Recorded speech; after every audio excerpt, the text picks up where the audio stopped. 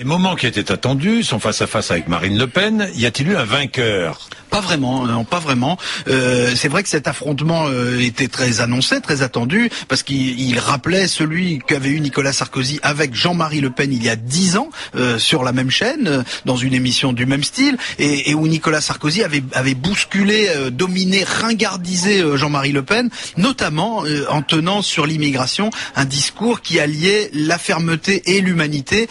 bon, discours que Nicolas Sarkozy a un peu oublié ensuite quand il était à l'Elysée.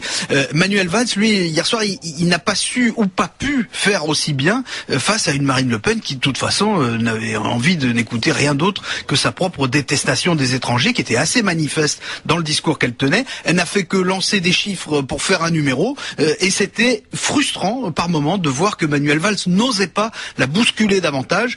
À l'arrivée, bah, si ce duel devait lui servir de rampe de lancement pour d'autres ambitions, on a envie de dire qu'il devra attendre d'autres occasions.